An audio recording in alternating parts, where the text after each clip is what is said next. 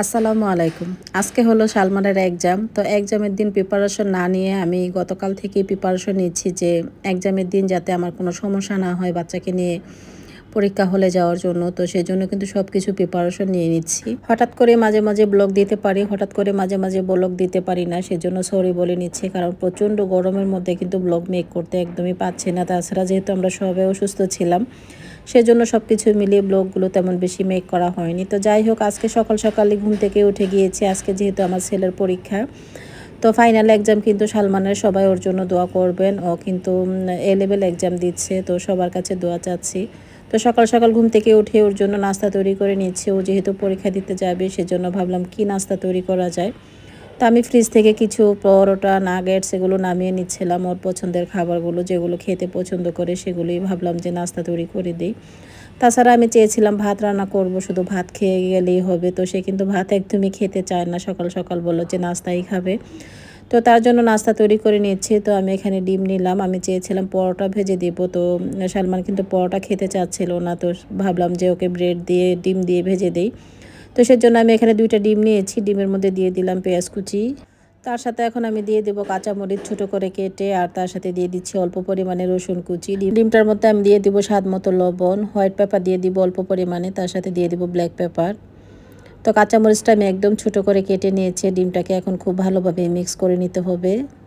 আর এই যে এখানে আমি হোয়াইট পেপারটা দিয়ে দিলাম অল্প পরিমাণে, তার সাথে ব্ল্যাক পেপার দিয়ে দিব। হোয়াইট পেপারটা আমার কেনা ছিল আর ব্ল্যাক পেপারটা আমি হাতে ঘরে তৈরি করেছিলাম, সেখান থেকে অল্প পরিমাণে দিয়ে দিচ্ছি। তো ডিমটাকে একটু ভালোভাবে নাড়িয়ে চাড়িয়ে মিশিয়ে নিব।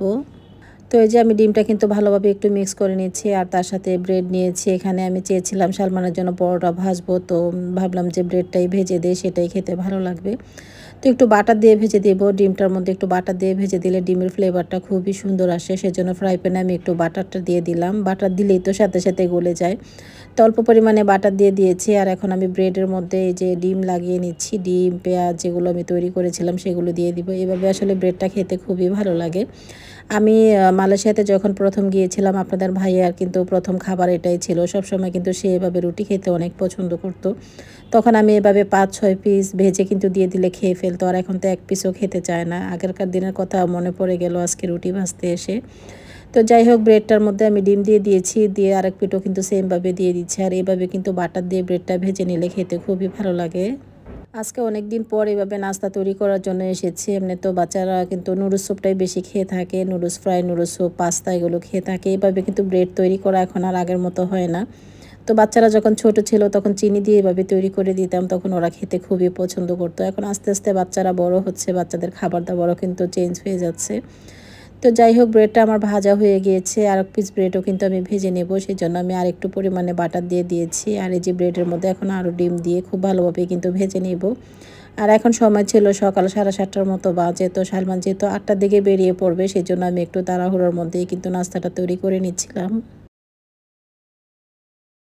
তো ব্রেডগুলো আমার এখানে ভাজা হয়ে গিয়েছে, ঠিক সেম ফ্রাই প্যানে আমি কিছুটা পরিমাণে সয়াবিন তেল দিয়ে দিচ্ছি, আর এখানে কিছু নাগেটস নিয়ে নিলাম।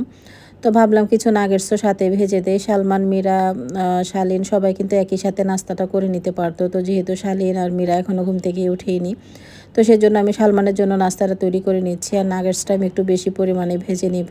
যেন মীরা আর শালিনও খেতে পারে, ওরা যখন ঘুম থেকে উঠবে তখন ওদেরও হয়ে যাবে, তো সেজন্য নাগেটসের পরিমাণটা একটু বেশি দিয়ে দিচ্ছি। আর নাগেটস আমি চেয়েছিলাম ওভেনে দিব ওভেনে দেওয়ার পর কিন্তু নাগেটসটা তেল ছাড়াই ভাজা যায়।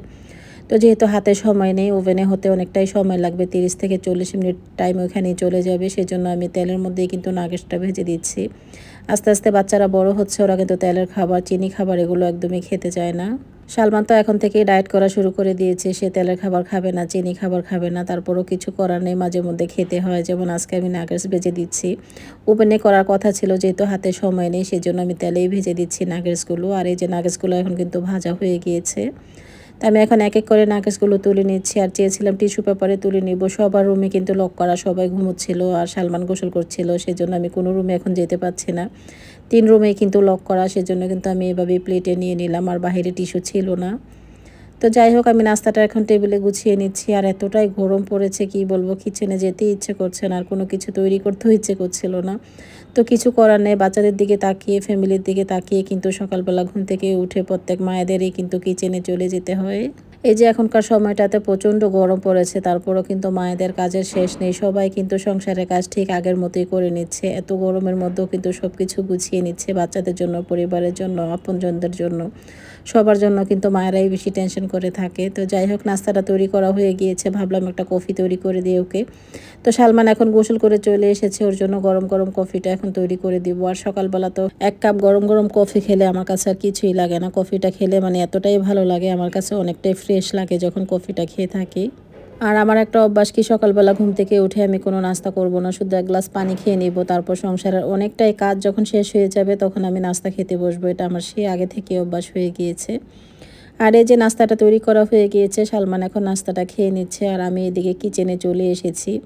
যেহেতু কিচেনে প্রচণ্ড গরম, সেজন্য সকাল সকালে কিন্তু আমি রান্নাটা করে নেওয়ার চেষ্টা করি। আর এখানে আমি কিছু কাঁচা আম নিয়েছি।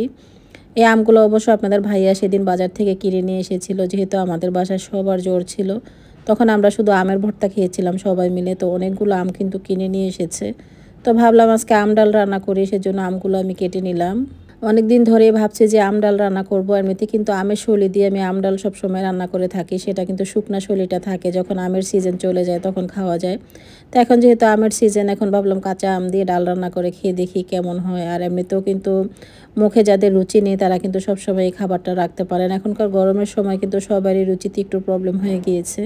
তো প্রতিদিনের খাবারে কিন্তু একটা না একটা টক খাবার রাখতে পারেন, যেমন আম ডাল, আম শলি তার মধ্যে কিন্তু তেঁতুল দিয়ে টক রান্না করা, আলু দিয়ে, টমেটো দিয়ে রান্না করা, এটা আমি গরমের সময় সব সময় রাখি আমাদের খাবারের মধ্যে। তো আজকে আম ডাল রান্না করতে ইচ্ছে করল, সেজন্য করলাম। আর গতকাল রাতেই কিন্তু আমি ডালটা ভিজিয়ে রেখেছিলাম। সম্পূর্ণ ডালটা যখন ভিজে গিয়েছে, তখনই আমি চুলায় বসিয়ে দিয়েছিলাম লবণ আর হলুদ দিয়ে। তো এখন কিন্তু আমটা আমি একটু মোটা মোটা টুকরা করে কেটে নিয়েছি আর ডালের মধ্যে এখন দিয়ে দিয়েছি আম। আমটা সিদ্ধ হওয়ার পর কিন্তু আমি বাগার দিয়ে ফেলব। তো বাগার দেওয়ার জন্য আমি অল্প পরিমাণে তেলটা ইউজ করছি, যেহেতু আপনাদের ভাইয়া তেল খাবার একদমই খেতে চায় না, সেজন্য অল্প পরিমাণে তেলটা দিয়েছি এখানে। প্রথমে আমি দিয়ে দিয়েছি আস্ত জিরা, রসুন কুচি দিয়ে দিয়েছি, পেঁয়াজ কুচি দিয়ে দিব আর আস্ত জিরাটা দেওয়ার পর কিন্তু এটা থেকে খুবই সুন্দর একটা গ্রান আসে। আপনারা ইচ্ছে করলে সরিষা দিয়েও বাগার দিতে পারেন, যেহেতু এটা ডাল, ডালের মধ্যে সরিষাটা না দিলে ভালো হয়।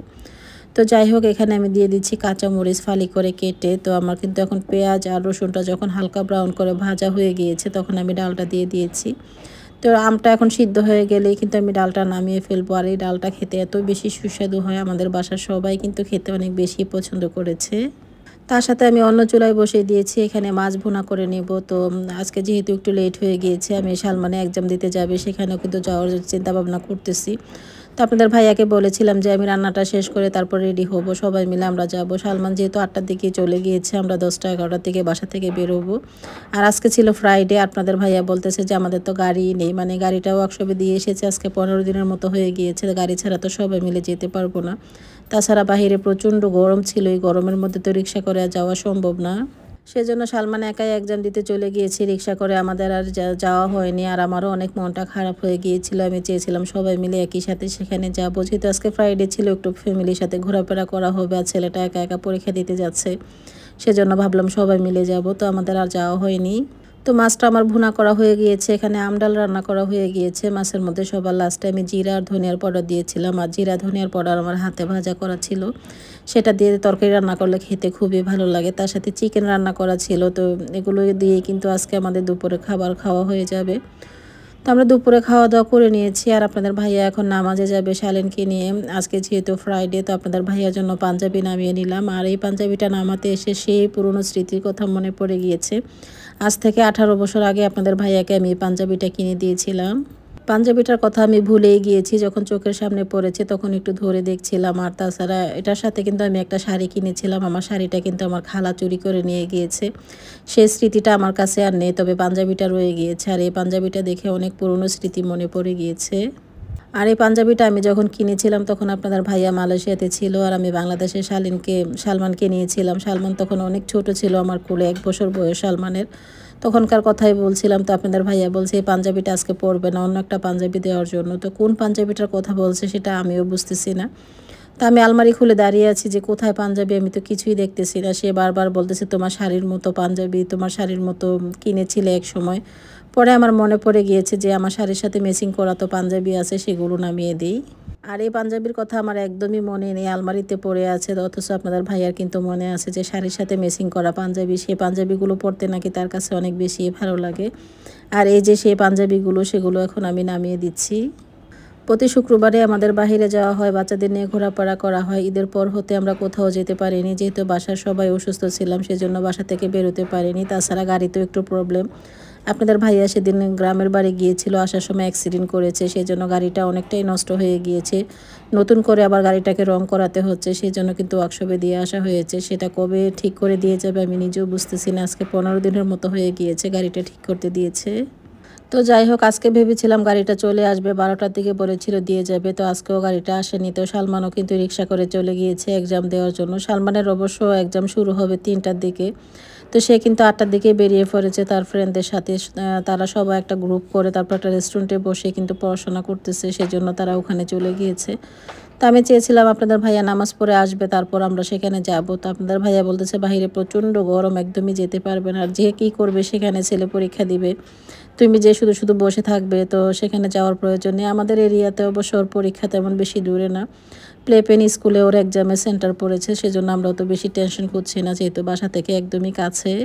তো যাই হোক, একটা ড্রেস নামাতে এসে আর একটা ড্রেস নামিয়ে ফেলেছি, সেগুলো গুছিয়ে নিলাম। আর এই যে শালির নামাজ পড়ে চলে এসেছে। আর বাহিরে প্রচণ্ড গরম ছিল, সেজন্য আমরাও যেতে পারিনি। গরমের জন্য কিন্তু বাসায় বসেছিলাম। তো যাই হোক, বিকেল হয়ে গিয়েছে। এখন সময় হলো প্রায় সাড়ে পাঁচটার মতো বাজে। তো ভাবলাম বাচ্চাদের জন্য নাস্তা তৈরি করি, আর সালমান তো এখনও বাসায় আসেনি। সে আসতে সে রাত হয়ে যাবে। ফ্রেন্ডদের সাথে সময় কাটাচ্ছে, হয়তো আমি ফোন দিয়েছিলাম। বলল, আমি কিছুক্ষণের মধ্যেই চলে আসব। আর এই যে, আমি এখন নাস্তা তৈরি করার জন্য এখানে নুডলস নামিয়ে নিয়েছি, কিছু ফ্রুটস নামিয়ে নিয়েছি। সব কিছু মিলিয়ে কিন্তু আমি এখন বাচ্চাদের নাস্তাটা তৈরি করে দিচ্ছি আর এখানে গরম পানি করে নিচ্ছি আর প্রচণ্ড গরমের মধ্যে কিচেনে একদমই যেতে ইচ্ছে করে না। তারপরও কিছু করার নেই খাওয়া দাওয়া তো করতে হবে। সকালে নাস্তা, দুপুরে, বিকেলে, রাতের বেলা। তিন, চারবার তো দৈনিক খেতেই হয়, তো সেগুলো তো মায়েদেরই তৈরি করে দিতে হয় বাচ্চাদেরকে। তো যাই হোক যে আমি এখানে নুডলস নামিয়ে নিলাম। আর এই নুডলসটা খেতে খুবই ভালো লাগে। ইদানিং আমার বাচ্চারাও খেতে অনেক বেশি লাইক করে। তো নুডলসটাকে আমি প্রথমে সিদ্ধ করে নিয়েছি। সিদ্ধ বলতে আমি গরম পানি করে ভিজিয়ে রেখেছিলাম পাঁচ মিনিটের মতো। তারপর কিন্তু নুডলসটা সিদ্ধ হয়ে গিয়েছে আর তার মধ্যে আমি এখন মশলাগুলো দিয়ে দিচ্ছি। নুডলসের মশলাটা দিয়ে একটু নাড়িয়ে চাড়িয়ে মিক্স করে নিলাম আর এইভাবে নুডলসটা করে নিলে অনেক তাড়াতাড়ি হয় আর কি। আমার কাছে ইজি মনে হয় এভাবে তৈরি করে নিলে। সাথে আমি কিছু ডিম ফ্রাই করে নিচ্ছি, সেগুলো এখন নুডলসের উপর দিয়ে দিয়ে দিচ্ছি। চুলার উপরে নুডলস না বসিয়ে এইভাবে নুডলসটা সিদ্ধ করে নিলে অনেক তাড়াতাড়ি হয়ে যায়। ঝটপট কিন্তু বাচ্চাদের খাওয়াটা রেডি হয়ে যায়। আর এই যে বিকেলে নাস্তাটা আমি এখন রেডি করে নিলাম। তো সবাইকে এখন নাস্তাটা রেডি করে দিচ্ছি আর আজকের ব্লগটি এ পর্যন্তই। ভিডিওটি দেখার জন্য ধন্যবাদ সবাইকে। আল্লাহ হাফেজ।